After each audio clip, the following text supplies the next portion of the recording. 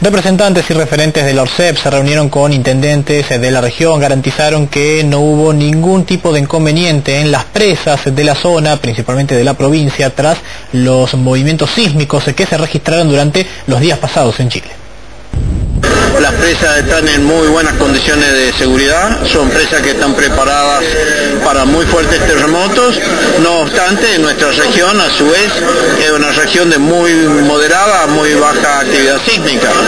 Esto está estudiado científicamente y demás. Nosotros pertenecemos a una región de las cinco zonas del país que está de la más baja de todas, que sería la zona de Buenos Aires, no sé demás, eh, seguimos atrás.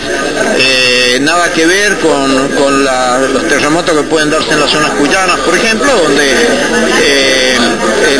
nivel de energía de poder destructivo de un terremoto el orden de tres veces por lo menos el que puede suceder en nuestra región. Y esto tiene alcance incluso hasta la mayor parte, casi todas las presas que obviamente tenemos.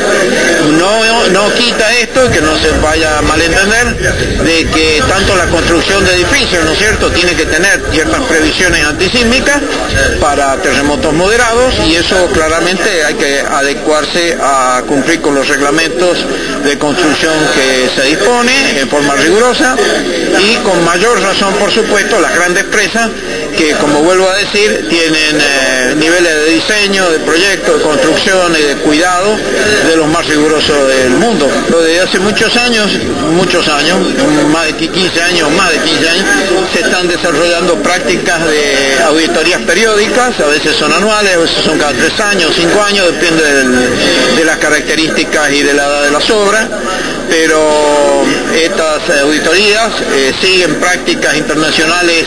del más alto nivel y esas están hechas en general por expertos de reconocida prestigio